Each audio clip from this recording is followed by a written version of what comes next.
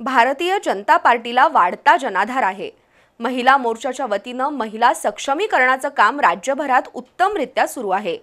कोल्हापूर जिल्ह्यातील भाजपच्या महिला पदाधिकाऱ्यांनी घरोघरी जाऊन महिलांच्या अडीअडचणी समजून घ्याव्यात आणि त्यांच्या प्रश्नांची सोडवणूक करावी असं आवाहन भारतीय जनता पक्षाच्या महिला प्रदेश सरचिटणीस ॲडव्होकेट स्वाती शिंदे यांनी केलं.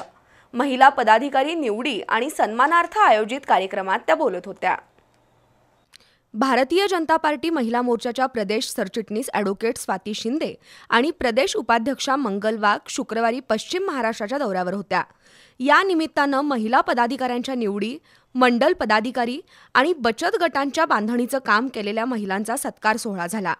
प्रारंभी प्रदेश कार्यकारिणी उपाध्यक्षा मंगलताई वाघ सरचिटणीस ॲडव्होकेट स्वाती शिंदे जिल्हाध्यक्षा रुपाराणी निकम यांच्या हस्ते भारत मातेच्या प्रतिमेचं पूजन आणि दीपप्रज्वलन झालं.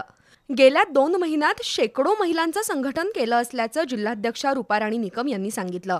भाजपच्या वतीनं महिलांसाठी शक्तिवंदन अभियान राबवलं जात आहे त्यातून महिला बचत गटांचं सक्षमीकरण होत आहे तसंच महिलांना स्वावलंबी बनवण्याचा प्रयत्न असून भाजपा महिला मोर्चाच्या पदाधिकाऱ्यांनी घरोघरी जाऊन महिलांमध्ये जनजागृती करावी असं आवाहन ॲडव्होकेट स्वाती शिंदे यांनी केलं. तर महिलांच्या सक्षमीकरणासाठी केंद्र सरकारनं आणलेल्या योजना लोकांपर्यंत पोहोचवाव्यात असं आवाहन मंगलताई वाघ यांनी केलं. दरम्यान ढवळे आणि नंदा जगदाळे यांना जिल्हा महामंत्री पदावर नियुक्त केल्याचं पत्र यावेळी सुपूर्द करण्यात आलं.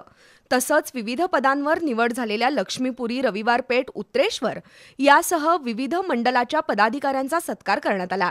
शिवाय प्रत्येकी दहा बचत गटांचं नेतृत्व करणाऱ्या पदाधिकाऱ्यांचा देखील सन्मान करण्यात आला. यावेळी शीतल तिरुके सविता दिवसे वैशाली जाधव धनश्री तोडकर छाया ननवरे यांच्यासह विविध मंडल आणि बचत गटांच्या पदाधिकारी उपस्थित होत्या.